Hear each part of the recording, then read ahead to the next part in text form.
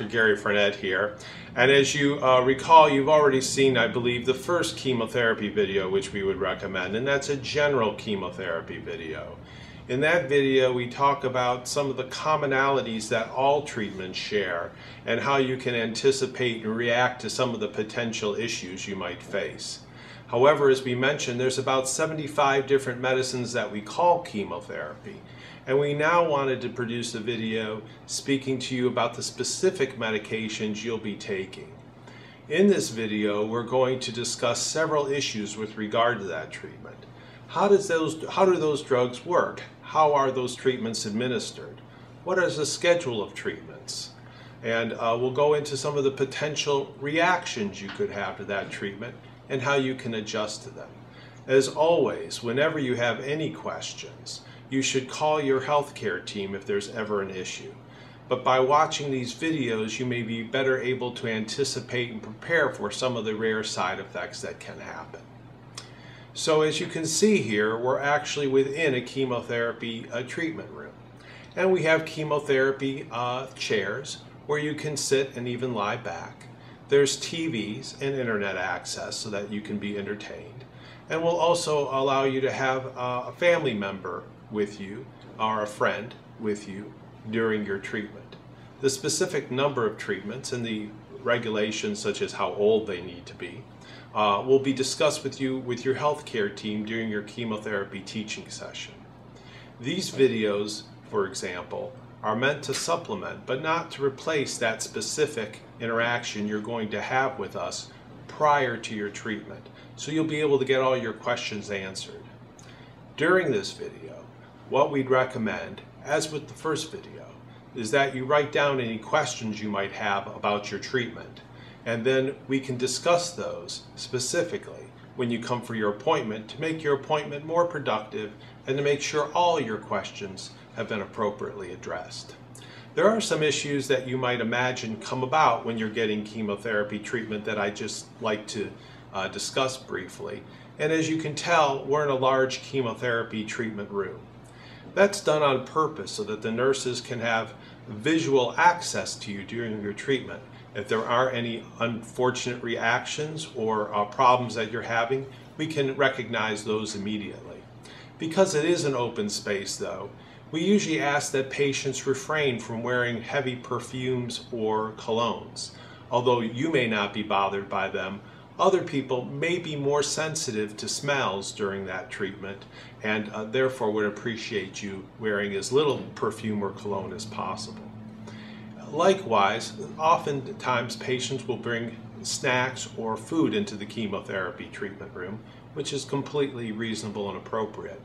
But we'd ask that they not be especially strong smelling because once again, some people can de uh, develop an aversion to strongly smelling food uh, during their treatment. And so as a courtesy to others, we would ask that you uh, try to uh, respect that during your treatment. In addition, uh, in, a, uh, in, addition to the TV, for example, or computers, a lot of times people like to listen to music or other uh, audible uh, uh, entertainment. because other people may be trying to rest, it's always a nice idea to bring headphones or something like that into your treatment room so you can enjoy the music or the TV at the volume you like without having to worry about disturbing others. The next portion of the video is going to be a slide presentation of your specific chemotherapy treatment. Make sure you uh, have a notepad with you and jot down any notes or questions you might have or that the slide presentation generates so that we can answer them during your in-person visit with us afterwards. This video represents the views of Dr. Gary Frenette and not any clinic or hospital system. It's designed to supplement, but not replace, the written and verbal information provided to you during your teaching sessions. It reviews common, trivial side effects as well as rare but life-threatening complications of therapy. Today we're going to talk about the use of R-CHOP chemotherapy, which is comprised of five drugs, Rituxan, Cytoxan, Adriamycin, Vincristine, and prednisone chemotherapy. To understand your treatment better, it's going to be necessary to have a brief refresher course on biology. Don't worry, we're going to keep it simple. Remember, all living things are made of cells, and the blueprint for how a cell and our bodies are made is encoded in a molecule called deoxyribonucleic acid, or DNA. Here's a brief video showing this process.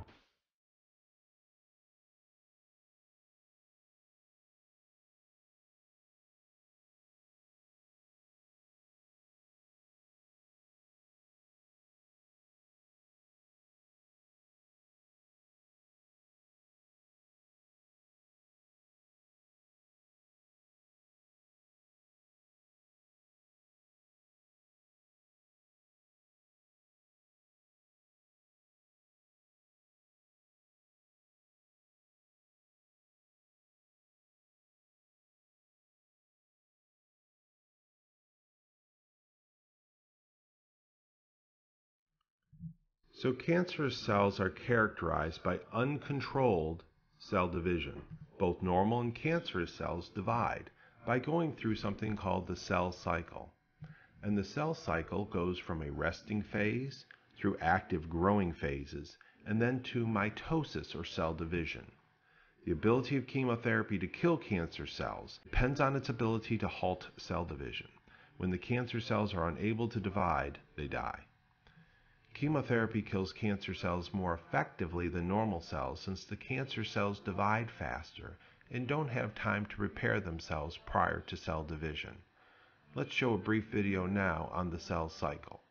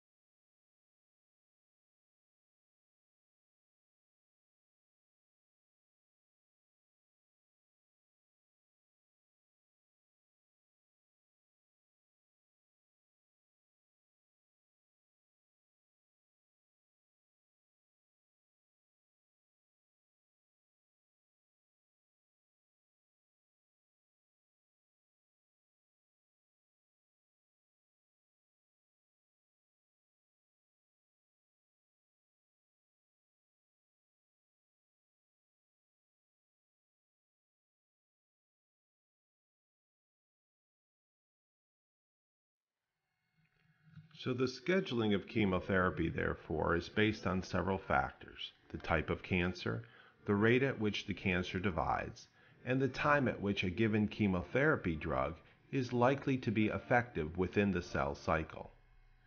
And that is why chemotherapy is typically given in cycles. Cycles are simply treatments which are separated by time intervals.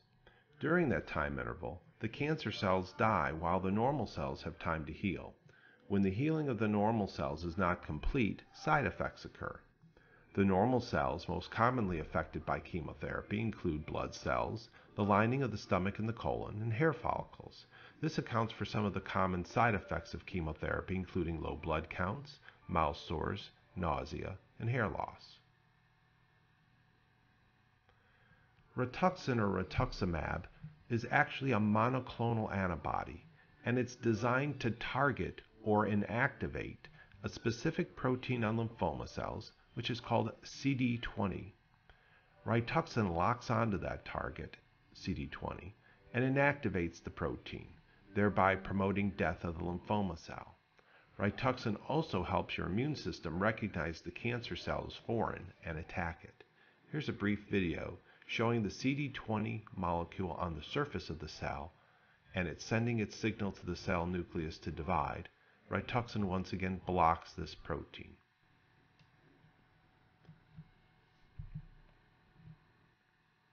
This schematic shows the CD20 protein on the surface of the lymphoma cell. The C protein is activated and sends a message to the cell nucleus to divide.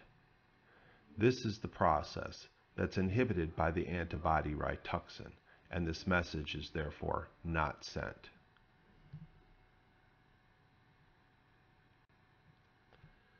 Cyclophosphamide, or Cytoxan, is an alkylating agent that works by cross-linking DNA and not allowing it to duplicate.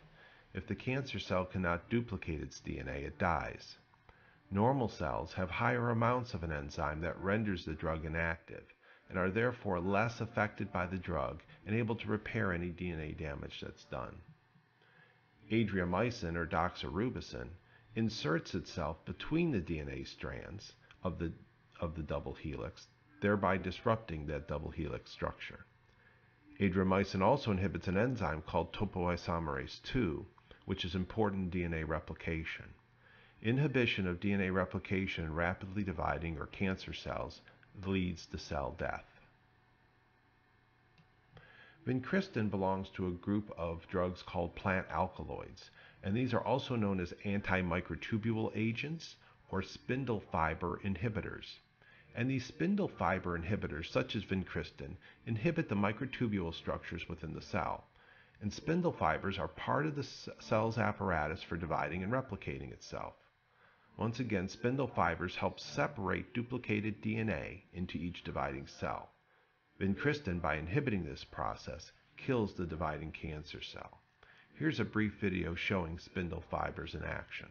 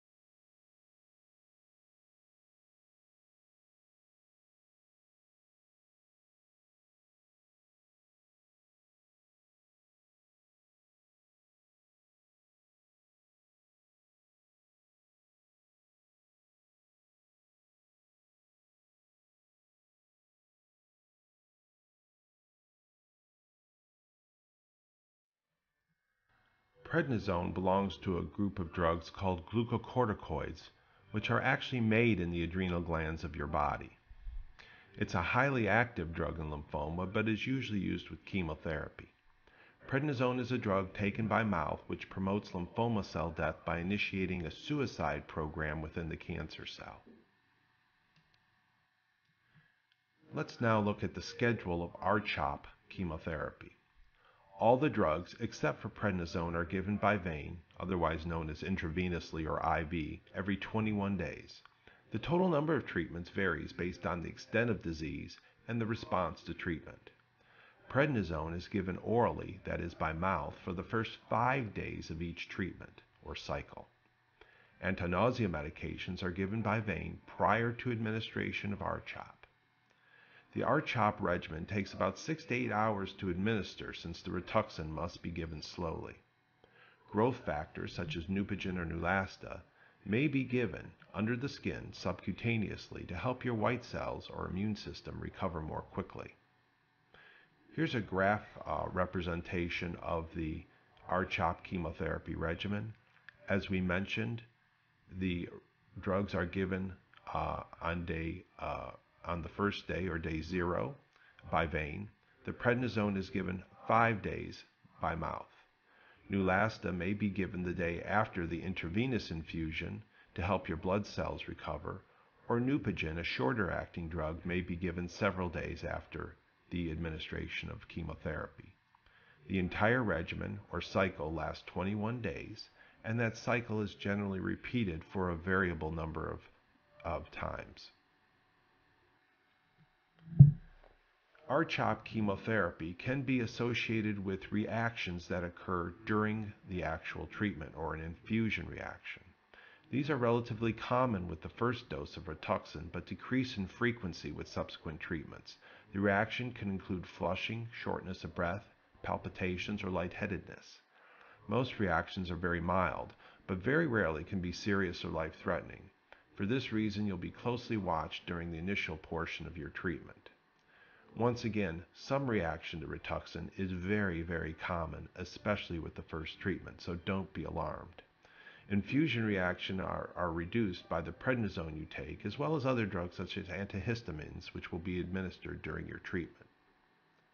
Let's now talk about the side effects of R-CHOP chemotherapy, things that you might notice after your treatment has been completed. The most important thing to remember is that each person's reaction to chemotherapy is different. Some people have very few side effects, while others may experience more. The side effects described here won't affect everyone who has R-CHOP chemotherapy. Some things you might notice are heartburn, and this can often feel like a pit in the stomach or even nausea. If you recognize this, let us know because we can give you medications that block acid secretion into the stomach and help with this feeling. Constipation or diarrhea can occur. Constipation is more common with this regimen and can be treated with medications such as Miralax, as well as foods. Adriamycin can very rarely cause decreases in heart function or the pumping of the heart. Your heart function will be measured prior to starting therapy to ensure your risk is minimal. Muscle pain or headaches can occur with Neulasta. These are usually treated with pain medications over the counter very rarely they may need stronger medications. Bladder irritation can occur with Cytoxan, but usually at higher doses than those given in this treatment. Good fluid intake after chemotherapy should help avoid this. Hair loss will occur about two to three weeks after the first treatment. Loss of hair on the head occurs first, but eyebrows, eyelashes, or pubic hair even can be lost as treatment proceeds. Your hair will grow back at a normal rate after treatment, but at first may have a different color or texture. The cost of your wig may be covered by insurance. Prednisone can also cause fluid retention, weight gain, mood swings, or insomnia. If you notice those issues, inform your healthcare team.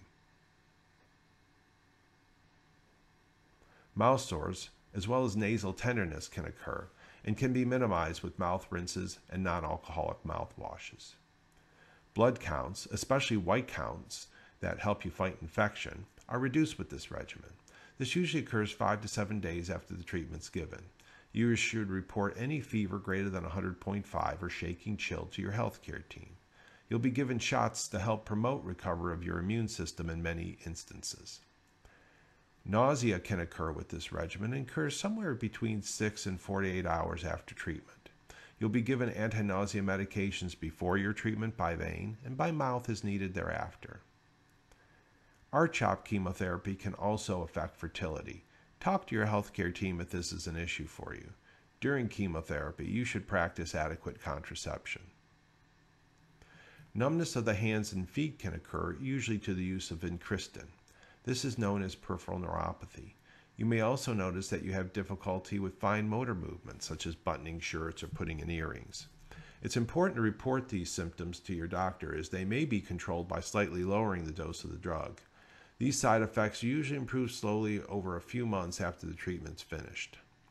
Lastly, doxorubicin is red, and as a result, your urine may turn a pink red color for up to 48 hours. After treatment, this is completely normal and harmless. As we mentioned, you're going to be receiving intravenous anti nausea medications prior to your chemotherapy. In addition, we're going to provide you with prescriptions for medications you can take by mouth to combat nausea after your treatment. If you experience nausea when you get home, take these medications immediately. Don't hope or wish for it to just simply pass on its own. Since these medications can cause constipation, you may need Miralax or another mild laxative. Some of the medications we may provide for you include Zofran or ondansetron. You should take one 8 milligram tablet every 8 hours as needed for nausea. This medication doesn't cause uh, sleepiness, so it can be a good medication to take during the day when you want to be alert. Phenergan or promethazine is taken one tablet every 6 hours as needed for nausea. This medication can cause variable amounts of nausea, so please be aware of this. Ativan or lorazepam is taken once every six hours and almost always causes uh, sleepiness. For that reason, you may want to take it at night uh, to help you sleep. Let's go over some frequently asked questions with regard to R-CHOP chemotherapy. Can I drive to my chemotherapy appointments? Well, we like you to have a driver for your first treatment, and if you receive drugs such as antihistamines that cause sedation, you may also need a driver for subsequent treatments. Will I gain weight with steroids such as prednisone? Well, these drugs can cause fluid retention and increased appetite in some patients. Be aware of your food intake, as well as the quality of the food you're eating. For example, avoid excessive desserts, salts, or simple carbohydrates. Can I get manicures, pedicures, or massage? Manicures and pedicures are usually avoided during aggressive chemotherapy.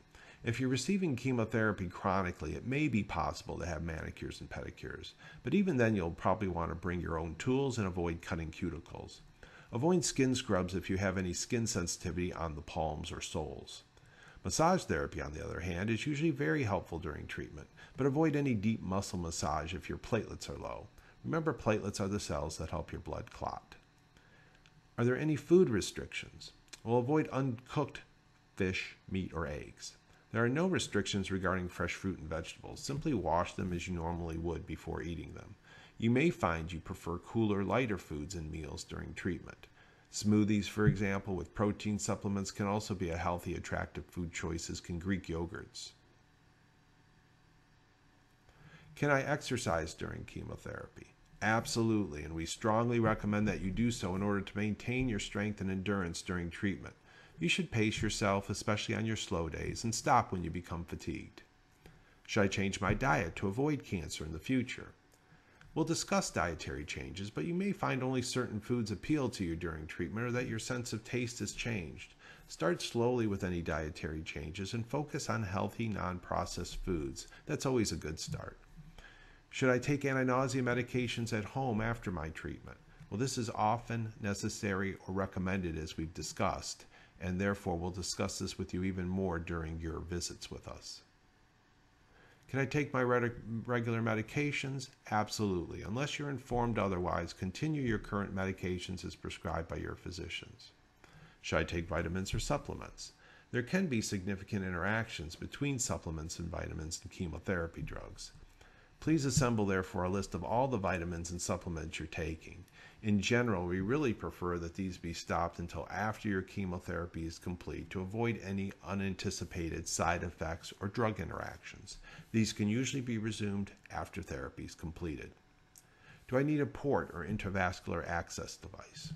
Although we can often treat intravenously by simply inserting an IV catheter in the arm, there are times when ports are required due to poor or limited venous access, continuous infusions of drugs, or when the drugs are irritating to the veins.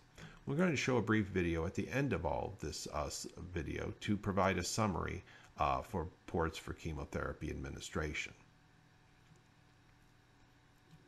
So in summary, R-CHOP chemotherapy is effective medication because there's a therapeutic window.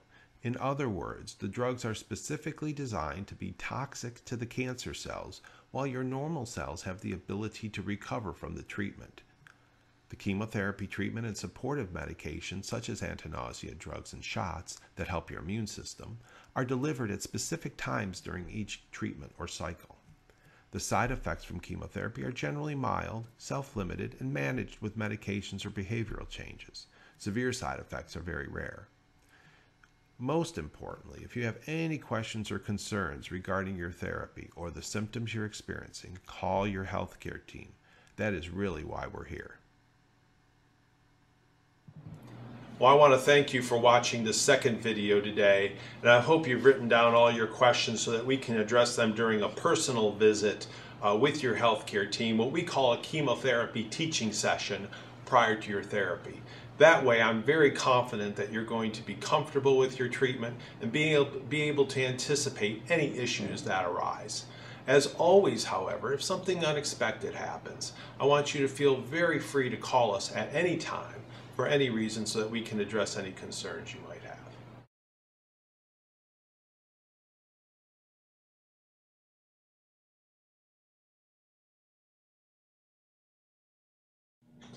My friend and colleague, Dr. Eric Wang, is now going to briefly discuss the use of venous access devices, or portacaths as we sometimes call them, in the use of chemotherapy. Not everyone who uh, receives chemotherapy needs a portacath, but for example, those patients with poor access to veins in their arm, or patients who require continuous infusions of chemotherapy over one to two days, will be benefited by the use of these ports. With these ports, you can swim, you can shower, and perform other activities as he'll now discuss for you. So move ahead to the next section of the video if you think you may uh, want to learn more about these devices or if you believe you're a candidate for these. Welcome. I'm Dr. Eric Wang, interventional radiologist with the vascular and interventional specialists of Charlotte Radiology. Your healthcare provider has ordered a port placement for you. I'm here to review this procedure and to make you and your family members feel at ease. A port is a small device used to obtain safe and reliable access to administer IV medications, such as chemotherapy drugs or antibiotics, and also used to obtain blood samples. Port is a small device, as I mentioned, and is about the width of a quarter and less than half an inch thick. The port is implanted underneath the skin surface at the chest a few centimeters below the collarbone, and this tubing is then inserted into a neck vein. Most patients are relieved after they have had their port placed that they no longer have to be stuck multiple times in their arms to get IV access. The port, once healed, is relatively unnoticeable and requires very little care. Patients resume their normal daily activities. This can include taking baths, exercise, and even swimming without worrying about the port. During your port placement, you'll be taken to an interventional radiology suite, where sophisticated X-ray equipment will be used for safe placement of your port. A technologist will then use special soap to wash the upper chest and neck, and then a sterile drape will be placed over the skin surface in order to provide a sterile environment to decrease the risk of infection. Once you are prepped, the nurse will give you sedation through an IV, and I will give you local numbing medication at the skin access site. A small pocket is created at the upper chest level, and then a catheter is placed under lifetime x-ray guidance into a neck vein. Once the port is placed, the pocket will be closed in a couple layers of absorbable suture, which will heal on its own. You will then go to the nursing recovery area and rest for about an hour prior to going home. Thank you for allowing Charlotte Radiology to be your healthcare provider. Please do not hesitate to ask additional questions during your visit